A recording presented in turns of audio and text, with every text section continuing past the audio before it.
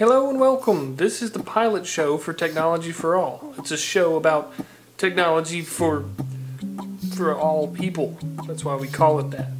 My name's Joe Somebody, and today I want to help you troubleshoot some basic uh, issues that people have with home networking and internet connectivity. Even though networking can be quite a complex subject and kind of hard to understand for certain people, it's really not that complicated to troubleshoot some of your own issues while you're at home. Believe me when I tell you, the Geek Squad and other companies in the same industry are more than happy to see you come running every time you've got a computer issue or you can't get on the internet you know, something small, but why spend the money to let them troubleshoot it if there are things that you can do at home first? Now, in most home networking environments, you have your computer, you have either your cable modem, DSL modem, and then there's the connection from there to the internet. So we're going to kind of go through some steps to troubleshoot uh, each point of failure and to see if we can help resolve some of the issues you may be having at home. Typically, all the equipment you have at home is configured dynamically by DHCP or Dynamic Host Configuration Protocol.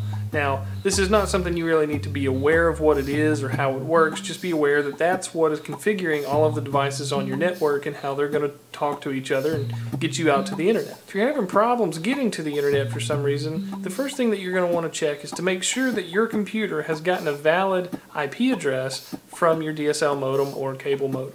The easiest way to do this is to click the Start button in the Search Programs and Files box, type in CMD hit enter. That's going to bring you up to what's called the command prompt. In the command prompt, what you need to type in is ipconfig or ipconfig. Ipconfig, once you type that in and hit enter, brings back all the relevant information uh, of your network card. Its IP address, what's called a subnet mask, a default gateway, and some other various information. The default gateway address is the address of your DSL modem or your uh, cable modem. That is the, the gateway to the internet, pretty much. So any traffic that your computer is trying to send or receive that's not on its local network will be sent to the default gateway, the router, and go on out to the internet. So really the first thing you need to do is make sure that typing in ipconfig uh, brings back some information that you don't have 0.0.0.0 for an IP address or a missing subnet mask or a missing default gateway where it's completely blank. Uh, those are going to stand out as obvious problems um, where your computer has not been correctly configured by the DHCP protocol. Assuming that you have information in those fields as I do, uh, the first thing that I would recommend is to use a command called ping, P-I-N-G. The ping command is basically a test between uh, your computer and whatever device you ping. So it's basically asking, are you there? So what we're going to do is we're going to make sure that our computer can talk to our default gateway because if it can't, there's the breakdown of communication right there. So we're going to type in the command ping space 192.168.254.254 because as you can see that is the address of our default gateway. Now when we type that in we get a reply. That's good if the router for whatever reason was offline or we were there was a breakdown in communication between our PC and our uh, router that we would just have a timeout over and over again. So the fact that we've got a reply from our router lets us know that at least the connection from my PC to the router is good and so we can do a little bit further investigation. The next thing you want to do is use the ping command again to ping a website out on the internet, such as yahoo.com is one that I tend to ping a lot. So you type in ping space yahoo.com, make sure that you get a reply. Getting a reply from yahoo.com tells us that the internet connection is actually good and that our PC is able to communicate with servers out on the internet with no problem. So the issue that we're having could be software related or it could be a virus.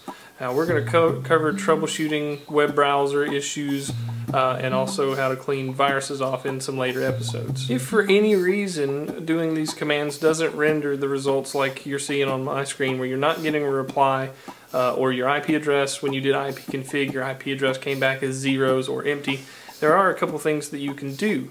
Uh, one command is typing in ipconfig space forward slash release which will basically release the uh, dynamically configured uh, information on your network card and then you can type in ipconfig forward slash renew, which will basically ask for a new dynamic configuration. So a lot of times this can clear up issues if you've gotten say two devices on your network, your iPhone and your laptop, have both been given the same IP address by your router by mistake, they're not going to be able to get on the internet because uh, you cannot have two devices with the same IP address on one network and have them function properly. Another thing that I find useful sometimes in troubleshooting internet connectivity or network connectivity for that matter is clicking on the start button, go to control panel. From there, if you go into network and sharing center, change adapter settings, then you should see the different adapters that your computer has installed, which will probably look different than the ones that I have on this computer. Um, but you should see one that says local area connection or maybe wireless uh, connection if you're on a laptop with a wireless connection. Um, right click on your connection and just simply disable it.